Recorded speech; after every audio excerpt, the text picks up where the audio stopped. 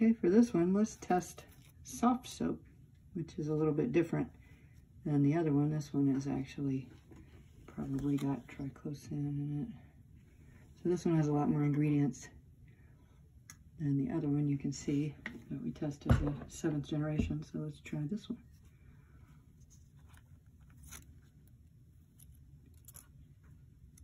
Right.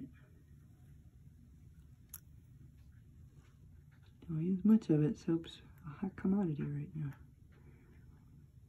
Let's see what this one does. All right, we can see this one's turning a little more green. We'll give it just a minute. It may have to react with water. I'm trying not to dilute it.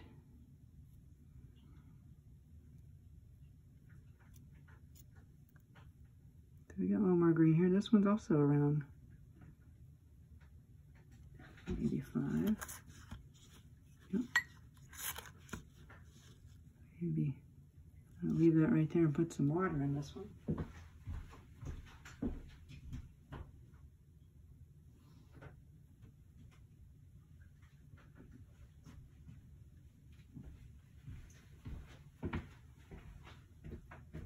So let's test soapy water, just for fun.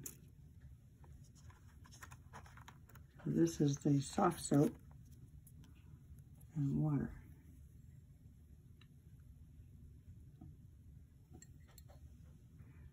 Not much different, but a whole lot less messy. All right, so we're still at around five. Interesting.